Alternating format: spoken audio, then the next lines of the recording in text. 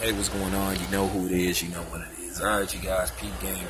All right, as expected, the NFL came down hard on Aqib Talib and Michael Crabtree. Both men were suspended for two games for a scuffle that happened Sunday in Oakland with the Raiders versus the Denver Broncos. These two dudes have had an ongoing feud for the past couple of years.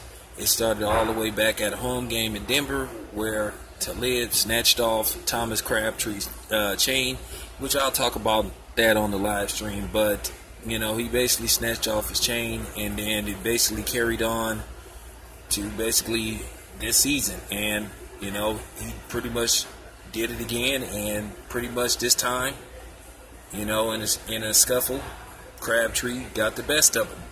But both of these guys will be suspended, and I, you know, basically the league had to step in because to me it was getting a little bit out of hand. And this is the type of stuff that could spill over to the streets you know because as i said before you shouldn't be touching nobody's private property and personal property.